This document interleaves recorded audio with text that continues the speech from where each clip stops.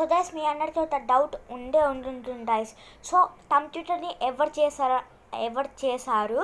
So మనకి Charles బాబే బాబే వచ్చేసి ఎప్పుడు పుట్టాడు అంటే డిసెంబర్ ట్వంటీ సిక్స్త్లో పుట్టాడు. So December twenty sixth seventeen ninety వన్లో పుట్టాడు రైస్ సో లండన్ ఎడ్లాండ్లో ఎండ్లాండ్లో సో అప్పుడు చన్ చనిపోయాడు గైస్ సో ఇంగ్లీ లండన్లో ఇట్ చార్లిస్ బ్యాడేజ్ ఉన్నప్పుడు సో తను ఏం చేశాడంటే ఒక మ్యాథమెటిక్స్ ఫ్రెండ్ అయితే ఉన్నాడనమాట సో అతనితో inventor who is created with computer transferred so ఏమని చెప్తున్నారంటే గైస్ సో మనకి కంప్యూటర్ వాళ్ళు ఫస్ట్ ఆలోచించి ఆలోచించి వాళ్ళు డిజిటల్ కంప్యూటర్ని అయితే చేశారనమాట సో దస్ డేట్ అయితే ఎప్పుడో తెలివాడు కానీ వాళ్ళ కంప్యూటర్ని అయితే డిజిటల్ కంప్యూటర్ అయితే ఫస్ట్ అయితే వచ్చిందనమాట సో నెక్స్ట్ ఫ్యాక్ట్కి పోయి కంటే ముందు లైట్స్ సబ్స్క్రైబ్ చేసుకోవడం మాత్రం మర్చిపోతండి.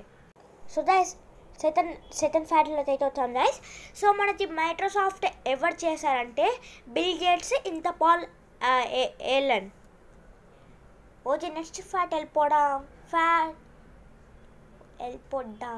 సో దైస్ మన మన దేశంకి కంప్యూటర్ ఎప్పుడు వచ్చింది ఆ డేట్ అయితే చెప్పబోతున్నాను గైస్ సో మనకి నైన్టీన్ సెవెంటీ వన్లో వచ్చేసి మనకి కంప్యూటర్ అయితే వచ్చింది.